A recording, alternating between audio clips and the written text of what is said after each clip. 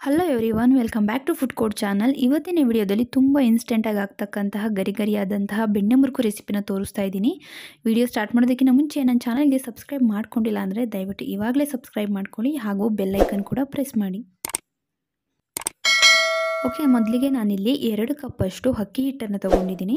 So, ಈ ಕಪ್ಪಲ್ಲಿ ನಾನು ಎರಡು ಕಪ್ಪಷ್ಟು ಅಕ್ಕಿ ಹಿಟ್ಟನ್ನು ತೊಗೊಂಡಿದ್ದೀನಿ. ಅದೇ ಕಪ್ಪಲ್ಲಿ ಒಂದು ಕಪ್ಪಷ್ಟು ಹುರಿಗಡಲೆ ಹಿಟ್ಟನ್ನು ತೊಗೊಂಡಿದ್ದೀನಿ. ಸೊ, ನಾನಿಲ್ಲಿ ಹುರಿಗಡ್ಲೆನ ಮಿಕ್ಸಿ ಜಾರ್ಗೆ ಹಾಕಿ ಈ ರೀತಿ ಪೌಡರ್ ಮಾಡಿ ಹಾಕೋತಾ ಇದ್ದೀನಿ. ಸೇಮ್ ಕಪ್ಪಲ್ಲಿ ಒಂದು ಕಪ್ಪಷ್ಟು ತೊಗೊಂಡಿದ್ದೀನಿ. ಆನಂತರ ನಾನಿಲ್ಲಿ ಕಡಲೆ ಹಿಟ್ಟನ್ನು ಎರಡು ಟೇಬಲ್ ಸ್ಪೂನಷ್ಟು ತೊಗೊಂಡಿದ್ದೀನಿ. ಸೊ ಈ ಕಡಲೆ ಹಿಟ್ಟು ಬಂದು ನಾವು ಬೋಂಡಾ ಬಜ್ಜಿಗೆ ಮಾಡೋಕ್ಕೆಲ್ಲ ಯೂಸ್ ಮಾಡ್ತೀವಲ್ಲ ಸೊ ಆ ಒಂದು ಕಡಲೆ ಹಿಟ್ಟು ಸೊ ಸುಮಾರು ಎರಡು ಕಪ್, ಎರಡು ಟೇಬಲ್ ಸ್ಪೂನಷ್ಟು ನಾನಿಲ್ಲಿ ಕಡಲೆ ಹಿಟ್ಟನ್ನು ತೊಗೊಂಡಿದ್ದೀನಿ. ನಂತರ ನಾನಿಲ್ಲಿ ಎಳ್ಳನ್ನು ತೊಗೊಂಡಿದ್ದೀನಿ. ಮೂರು ಟೇಬಲ್ ಸ್ಪೂನಷ್ಟು ನಾನಿಲ್ಲಿ ಎಳ್ಳನ್ನು ತೊಗೊಂಡಿದ್ದೀನಿ. ನೀವು ಬೇಕಂದರೆ ಬಿಳಿ ಎಳ್ಳು ಕೂಡ ತೊಗೋಬೋದು. ನಾನಿಲ್ಲಿ ಎಳ್ಳನ್ನು ತೊಗೊಂಡಿದ್ದೀನಿ.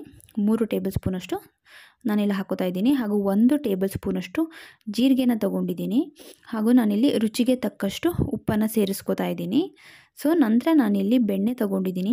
ಇದು ಸುಮಾರು ನಾಲ್ಕು ಟೇಬಲ್ ಸ್ಪೂನಷ್ಟಿದೆ ಸೊ ನಾವಿಲ್ಲಿ ಮಾಡ್ತಾ ಇರೋದು ಬೆಣ್ಣೆ ಮುರುಕು. ಸೊ ನೀವು ಸ್ವಲ್ಪ ಬೆಣ್ಣೆ ಜಾಸ್ತಿ ತೊಗೊಂಡ್ರೂ ಏನೂ ಆಗೋದಿಲ್ಲ. ನಾನಿಲ್ಲಿ ಒಂದು ನಾಲ್ಕು ಟೇಬಲ್ ಸ್ಪೂನಷ್ಟು ತೊಗೊಂಡಿದ್ದೀನಿ. ಬೆಣ್ಣೆ ಹಾಕೊಂಡ ನಂತರ ನಾವು ಆ ಹಿಟ್ಟಿನ ಜೊತೆಗೆ ಚೆನ್ನಾಗಿ ಹದವಾಗಿ ಹೊಂದ್ಕೋಬೇಕು. ಅಲ್ಲಿವರೆಗೂ ನಾನು ಇದೇ ರೀತಿ ಮಿಕ್ಸ್ ಮಾಡ್ಕೋತಾ ಇದ್ದೀನಿ. ಸೊ ಕೈಯಿಂದ ನೀವು ಆ ಬೆಣ್ಣೆ ಎಲ್ಲ ಈ ರೀತಿ ಕಲಸಿ ನೀವು ಅದು ಹಿಟ್ಟಿನ ಜೊತೆಗೆ ಚೆನ್ನಾಗಿ ಮಿಕ್ಸ್ ಮಾಡ್ಕೋಬೇಕು. ಆ ನಂತರ ನಾನು ಸ್ವಲ್ಪ ಸ್ವಲ್ಪನೇ ನೀರನ್ನು ಹಾಕ್ಕೊಂಡು ನಾನಿಲ್ಲಿ ಈ ರೀತಿ ಹಿಟ್ಟನ್ನು ಕಲಿಸ್ಕೋತಾ ಇದ್ದೀನಿ. ನೀವು ನಾರ್ಮಲ್ ವಾಟರ್ನ ಸೇರಿಸ್ಕೊಂಡು ಸ್ವಲ್ಪ ಸ್ವಲ್ಪನೇ ಹಾಕೊಳ್ತಾ ನೀವು ಕಲಿಸ್ಕೋಬೇಕಾಗುತ್ತೆ. ಒಂದೇ ಬಾರಿ ಸೇರಿಸ್ಕೋಬೇಡಿ. ಒಂದು ಟೇಬಲ್ ಸ್ಪೂನಷ್ಟು ನಾನಿಲ್ಲಿ ಬಿಸಿ ಎಣ್ಣೆನ ತೊಗೊಂಡಿದ್ದೀನಿ.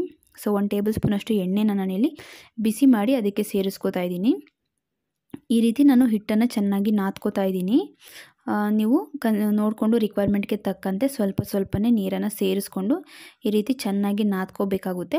ಒಂದು ಐದರಿಂದ ಹತ್ತು ನಿಮಿಷಗಳ ಕಾಲ ಈ ರೀತಿ ನೀವು ಚೆನ್ನಾಗಿ ಹಿಟ್ಟನ್ನು ನೀವು ನಾದ್ಕೊಳ್ಳಿ. ನೀವು ಬೆಣ್ಣೆ ಬದಲಿಗೆ ತುಪ್ಪ ಕೂಡ ಸೇರಿಸ್ಕೋಬೋದು, ಏನೂ ತೊಂದರೆ ಇಲ್ಲ. ಸೊ, ನಾನಿಲ್ಲಿ ಬೆಣ್ಣೆನೇ ಸೇರಿಸ್ಕೊಂಡಿದ್ದೀನಿ. ಬೆಣ್ಣೆ ಮುರುಕು ಅಂತ ಹೇಳಿದ್ರೆ, ಸೊ, ನೀವು ಬೆಣ್ಣೆ ಬದಲಿಗೆ ತುಪ್ಪ ಕೂಡ ಸೇರಿಸ್ಕೋಬೋದು. ನೋಡಿ, ನಾನಿಲ್ಲಿ ಈ ರೀತಿ ಚೆನ್ನಾಗಿ ಹಿಟ್ಟನ್ನು ಕಲಿಸ್ಕೊಂಡು ನಾದ್ಕೊಂಡು ಇಟ್, ಇಟ್ಕೊಂಡಿದ್ದೀನಿ. ನಂತರ ನಾನಿಲ್ಲಿ ಚಕ್ಲಿ ಮೇಕರ್ನ ತೊಗೊಂಡಿದ್ದೀನಿ. ಸೊ ಚಕ್ಲಿಗೆ ಸೊ ನಾನಿಲ್ಲಿ ಸ್ಟಾರ್ ಮಡ್ಡನ್ನು ಸೇರಿಸ್ಕೊಂಡಿದ್ದೀನಿ. ಸೊ ನಂತರ ನಾನು ಆ ಚಕ್ಲಿ ಮೇಕರ್ಗೆ ಎಲ್ಲವೂ ಸಹ ಈ ರೀತಿ ಎಣ್ಣೆನ ಸಾವ್ರ್ತಾ ಇದ್ದೀನಿ. ಸ್ವಲ್ಪ ಎಣ್ಣೆನ ನೀವು ಸಾವ್ರಿ.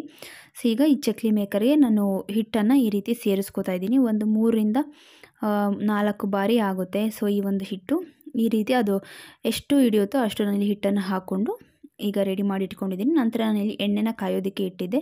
ಸೊ ಡೈರೆಕ್ಟಾಗಿ ನಾನಿಲ್ಲಿ ಎಣ್ಣೆ ಒಳಗಡೆನೇ ಈ ರೀತಿ ಚಕ್ಲಿನ ಹಾಕೋತಾ ಇದ್ದೀನಿ. ಸೊ ನೋಡಿ ಈ ರೀತಿ ನಾನು ಹಾಕೋತಾ ಇದ್ದೀನಿ. ನೀವು ಬೇಕಂದರೆ ರೌಂಡ್ ಶೇಪಲ್ಲಿ ಕೂಡ ಮಾಡ್ಕೋಬೋದು. ಅಥವಾ ನಾವಿಲ್ಲಿ ಮುರುಕು ಮಾಡ್ತಾ ಇರೋದ್ರಿಂದ ನಾನಿಲ್ಲಿ ಯಾವುದೇ ರೀತಿ ಶೇಪನ್ನು ಮಾಡ್ಕೊತಾ ಇಲ್ಲ.